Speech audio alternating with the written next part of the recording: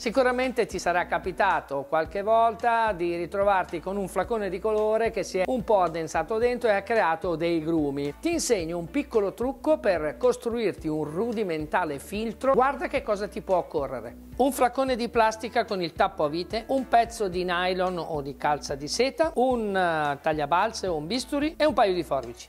Taglia il fondo del barattolo con il bisturi. Rifila il fondo con un paio di forbici. Gira il tappo sottosopra e con il bisturi taglia la parte interna. Metti il cerchietto di nylon sopra il collo del tuo flacone. Tendilo con le mani e avvitaci sopra il tappo bucato. E adesso usiamo il nostro straordinario filtro artigianale.